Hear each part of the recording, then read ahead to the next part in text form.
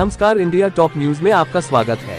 भाजपा के पदाधिकारियों ने बताया कि भाजपा की लहर चल रहा है। उत्तर प्रदेश जनपद बलिया में लोकसभा बहत्तर बलिया में दोपहर ब्लॉक पर आयोजित कार्यक्रम के दौरान रानू चौबे सियाराम यादव भूपेश सिंह आदि भाजपा नेताओं ने बताया कि भाजपा की चल रही लहर। स्वर्गीय चंद्रशेखर सिंह के पुत्र नीरज शेखर सिंह को भाजपा प्रत्याशी है पूरी दमदारी के साथ कुमार हनुमान क्या कहेंगे? चुनावी मुद्दा पर जो चुनावी मुद्दा बहुत ही क्लियर है जैसे कि हमारे यहाँ रहने हैं भाजपा नेता हमारे श्री राम यादव चाचा जी हम पहले से मेंशन कर रखा है बिलेरी प्रधान जी प्रतिनिधि जी पहले मेंशन कर रखा है। चुनाव आज के दिन में जितने भी युवाएँ हैं या जितने भी जनप्रतिनिधि हैं जितने भी भाजपा के कार्यकर्ता है सब खुद नीरज शेखर बन के खुद चुनाव लड़ रहे हैं। मतलब वो नहीं लड़ रहे उनके कार्यकर्ता चुनाव जी। और जनता लड़ जी जी बिल्कुल। तो क्या लगता है कितनी वोटों से बीजेपी ये मेंशन मैं नहीं कर सकता हूँ कितने वोटों से लेकिन जितने भी होंगे बहुत ऐतिहासिक वोटों से विजयी होने वाले। मैं डॉक्टर भूपेश कुमार सिंह प्रधान प्रतिनिधि बेलारी। हैं, क्या कहेंगे चुनावी मुद्दा देखिए चुनावी मुद्दा जो है अ, मुझे तो कल का रैली देख करके लगा है ऐसा। मैं कल स्वयं वहाँ उपस्थित था सारे कार्यक्रमों में शुरू से लेकर के अंत तक। जो जनता की भीड़ थी मुझे देख करके ऐसा कहीं नहीं लग रहा है कि कहीं कोई लड़ाई भी दिख रही। केवल अब मन का गुबार है और अपने अपने मन की शांति तभी मिलेगी जब चार तारीख को काउंटिंग हो जाएगा। बीच में मुझे कुछ लड़ाई नहीं दिखता है। बस चार तारीख तक लोग अपने अपने लोगों के लिए संतुलना रखें। लड़ाई पहले ही जीती जा चुकी है। अभी का जो माहौल लग रहा है क्या कहेंगे इसमें पर? जो चर्चाएँ चल रही हैं आप देख रहे हैं। अब मुझे तो ठाकुर ब्राह्मण जो लोग एक देखिए कुछ फेसबुकिया नेता लोग हैं जो केवल ठाकुर ब्राह्मण करते हैं, मुझे ऐसा कहीं दिख नहीं रहा अब जैसे हमारे भोला बाबा, रानू बाबा के यहाँ कार्यक्रम है, उधर पंडित जी खड़े हैं पूर्व प्रमुख जी हमारे बाबा हुए हैं, जो रहे हैं बेलहरी पूर्व प्रमुख। तो तमाम तो पंडित जी लोग ही मुझे मेरे आसपास दिखाई देते हैं। मैं कल भी कार्यक्रम में रामलीला मैदान में था तो मुझे तो कहीं नहीं लगा कि ब्राह्मण भी है। हाँ कुछ लोगों को जातिवाद का कीड़ा हमारे बिरादरी में भी है, उनके बिरादरी में भी है, हर बिरादरी में भी है। तो उससे सामाजिक व्यवस्था को ये गड़बड़ाने की जो एक देखिए राजनीति हमेशा तोड़ करके चल रही है। आजकल आप लोगों का जो मीडिया भी दिखा रहा है वही दिखा रहा है कि इतना परसेंट ठाकुर इतना परसेंट ब्राह्मण इतना परसेंट दलित इतना परसेंट यादव। तो इसी बेस पे आप लोग चुनाव का जो समीकरण हो रहा है लेकिन धरातल पे ऐसा है नहीं। धरातल हमेशा चुनाव विकास पे हुआ है हो रहा है और आगे भी होता रहेगा। मेरा नाम आयुष चतुर्वेदी उर्फ़ रानू चौबे है। मैं बाहुबली कंस्ट्रक्शन का ओनर हूँ। और हमारे यहाँ जमलसी साहब का कार्यक्रम है जिसमें तमाम ब्लाकों से प्रधान माननीय प्रधानगण और हमारे प्रमुख जी के प्रतिनिधि हनुमानगंज वो भी आए हुए हैं हमारे सियाराम मामा हैं ये भूपेश भैया बेलहरी के प्रधान हैं और तमाम लोग जगह जगह से आए हुए हैं बहुत हर्ष हर्षायित और उल्लासित हैं सभी लोग जो है। उद्देश्य? यही है कि जनता को बीजेपी के कार्यों के बारे में बताना है। कि जो हमने पाँच साल में बीजेपी ने काम किया है पहले तो जनता को वो बताया जाए। और जो जनता के बीच जो चीज़ नहीं पहुँच पाई है अगले बार जो हम बनेंगे नेता या हमारी सरकार आएगी तो हम उस चीज़ को सुधार करेंगे। इसलिए आज इस चीज़ का कार्यक्रम जो है नुक्कड़ सभा का यहाँ पर आयोजन किया गया है जिसमें सारे ये नहीं है कि दुबहन ब्लॉक के, अंतर्गत हो रहा है ये कार्यक्रम तो केवल दुबहन ब्लॉक के लोग आए हुए हैं। ऐसा नहीं है। तमाम ब्लॉकों से लोग आए हुए हैं। हनुमानगंज ब्लॉक से आए हैं कुछ लोग बेलहरी से आए हुए हैं कुछ लोग रसड़ा से भी आए हुए हैं। हर जगह से लोग आए हुए हैं।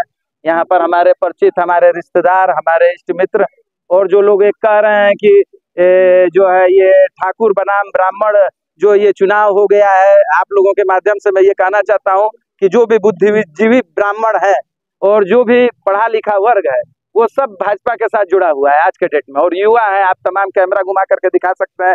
हमारे युवा साथी हैं सब।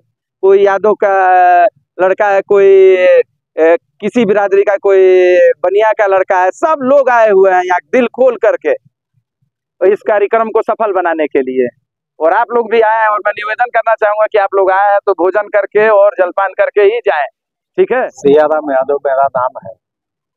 अब भाजपा का अभी एक छोटा सा कार्यकर्ता। हूँ और रानू चौबे हम लोगों के दिल में बसते हैं। इसलिए कि इतना ये नौजवान, ऊर्जावान व्यक्ति है ये अपने यहाँ कार्यक्रम ये रखे हैं, जिसमें हमारे नौजवानों के धड़कन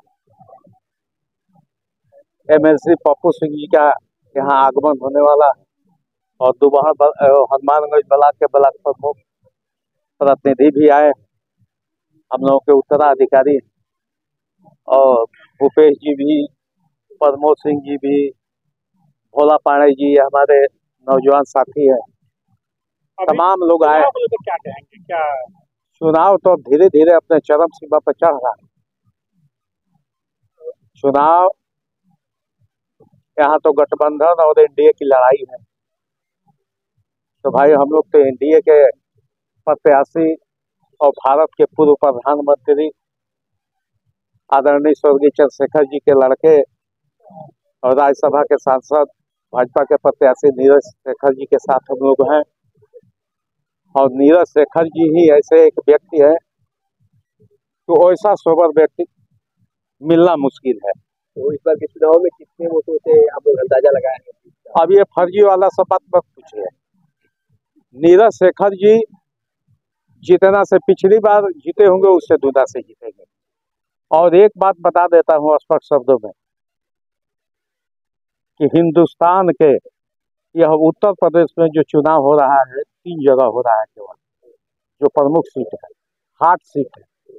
बनारस में नरेंद्र मोदी लड़ रहा है, भारत के प्रधानमंत्री। और बलिया में जो है, क्या नाम है कि, भारत के पूर्व प्रधानमंत्री स्वर्गीय चंद्रशेखर जी के पुत्र लड़ रहे हैं नीरज जी। और एक कोई रायबरेली की अमेठी में कोई लड़ रहा है, भारत के पूर्व प्रधानमंत्री का लड़का ये जान लीजिए। हिंदुस्तान में यूपी के ये तीन सीट महत्वपूर्ण है। और रह गई बात कि नीरज शेखर ऐसे हमारे प्रत्याशी हैं कि हिंदुस्तान के बाइलाज में लिखा है। आप लोग रिपोर्टर हैं, आप लोग जानते होंगे कि प्रधानमंत्री का एक छोटा सा भी परिवार का अगर कोई बच्चा है तो उसकी सुरक्षा एसपीजी करती है, या कमांडो करता है। लेकिन नीरज शेखर ही एक ऐसे व्यक्ति है कि कोई सुरक्षा नहीं लिए। और इतनी सादगी से और सरल स्वभाव के व्यक्ति है कि आज भी आप लोग देखे होंगे हवाई चप्पल पहन करके चलने का काम करते हैं। जिसका नाम है नीरज शेखर जी और यहाँ की जो राजनीति पर जो माहौल चल रहा है नीरज शेखर जी का कोई जवाब नहीं। वास्तव में वो व्यक्ति जो है धरती से पकड़ व्यक्ति है और कोई उन पे दाग नहीं है। लोग कहते हैं कि क्या नहीं, क्या आपने किया है? ये बताइए, चंद्रशेखर जी विश्वविद्यालय, यह जो है, चंद्रशेखर जी के नाम पर बना, उस समय सांसद कौन था? यही थे। और बहुत साफ़ गोई से नीरज शेखर जी ने कहा कि मेरे पिताजी मुझे राजनीति में नहीं लाए। उसमें कहीं दो राह नहीं है। वो कुछ छिपाते नहीं है। बहुत साफ़ गोई से उन्होंने कहा। जितने भी विकास के काम हुई है, कोई विधायक अगर पास करा दिया तो बिना सांसद के सहमति से नहीं होगा। तो उन्होंने चाहे जनेश्वर सेतु हो, चाहे चंद्रशेखर जी विश्वविद्यालय हो, चाहे बलिया के कोई विकास हो। मान लेते हैं कोई शिलापट लगा कर ये भूपेश सिंह जी नौजवान प्रधान है, बेलहरी गाँव, सबसे बड़ी गाँव सभा है, बेलहरी ब्लॉक में। ये काम कराते हैं, कोई आकर के दूसरा उसका श्रेय ले ले तो कोई जनता जानती है। इसलिए जो है, और यह कार्यक्रम जो रानू चौबे रखे हैं, मैं रानू चौबे को बधाई देता हूँ, और यहाँ जितने लोग आए हैं, उनको धन्यवाद देता हूँ कि भाई रानू चौबे तो घुमा ले गए। रानू चौबे बहुत उत्साही नौजवान लड़के हैं, और यह खिलाने के बड़े शौकीन हैं। तो अपने यहाँ कार्यक्रम लगाया है। मैं